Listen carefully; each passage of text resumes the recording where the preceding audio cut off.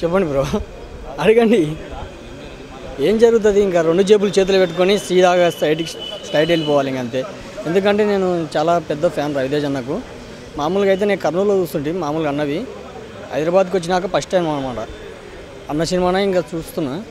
వద్దామని చూ వచ్చిన? ఏదో మొత్తానికి ఇంకా అర్థం కాకుండా అయిపోతుంది. అసలు సినిమా రిలీజ్ కావడం లేదంట. ఏం చేద్దాం అనుకుంటున్నారు థియేటర్ ఒకవేళ రిలీజ్ రెండు జేబులు చేతులు పెట్టుకొని సీదా సైట్ అంటే అడిగితే వాళ్ళు నోరు తెరపడం లేదు కదా. టికెట్ బుకింగ్ చేసుకున్నాం అంటే ఇంక మామూలు ఇంకా. టికెట్ది కాదబ్బా ఇప్పుడు డబ్బులు అది మ్యాటర్ కాదు. సినిమా చూడాలని వచ్చినాం కదా. వర్క్ ఉంది ఇవాళ షూటింగ్స్ ఉన్నాయి అవన్నీ క్యాన్సిల్ చేసుకొని మళ్ళోడు డైహార్డ్ ఫ్యాన్ మనం కూడా రవితేజ గారిని గౌరవిస్తాము. చలో ఇక మళ్ళీ ఎట్లా ఇవాళ షూట్ క్యాన్సిల్ అయ్యి కదా ఒకసారి వెళ్ళొద్దాం నడు అని చెప్పేసి సినిమాకి వచ్చినాము.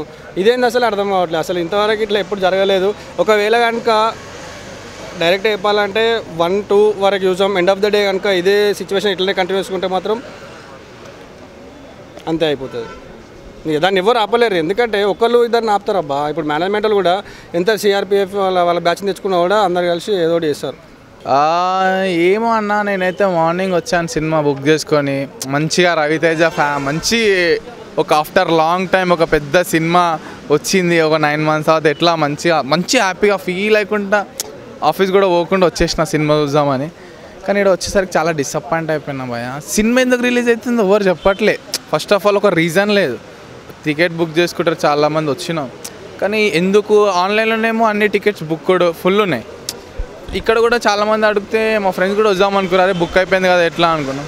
సరే సడన్లీ ఇక్కడ వచ్చి చూసేసరికి మీ టికెట్ ఏమైందంటే వెయిట్ చేయండి మేబీ మేము క్యాష్ మీది మీకు బ్యాక్ చేస్తాం లేదంటే ఆఫ్టర్నూన్ వరకు షో స్టార్ట్ అవ్వచ్చు అంటున్నారు.